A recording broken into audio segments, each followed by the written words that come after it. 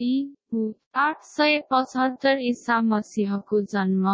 एक देखि पूर्वका वर्षहरूलाई दर्शाउँदछ ईसाको जन्मलाई आधार मानेर त्यसको जन्मदेखि आठ सय पचहत्तर वाट वर्ष पूर्वका वर्षलाई यस प्रकार प्रदर्शित गरिन्छ। यो जुलियन क्यालेन्डरमा आधारित एक सामूहिक वर्ष मानिन्छ। अधिकांश विश्वमा यसै पद्धतिका आधारमा पुराना वर्षहरूको गणना गरिन्छ। भारतमा यसका अतिरिक्त धेरै पञ्चाक प्रसिद्ध जस्तै विक्रम जो ईसाका जन्मदेखि सन्ताउन्न वा अन्ठाउन्न वर्ष पूर्व सुरु हुन्छ र यो नेपाल राष्ट्रिय क्यालेन्डर हो। यसका अतिरिक्त सक पनि प्रसिद्ध छ।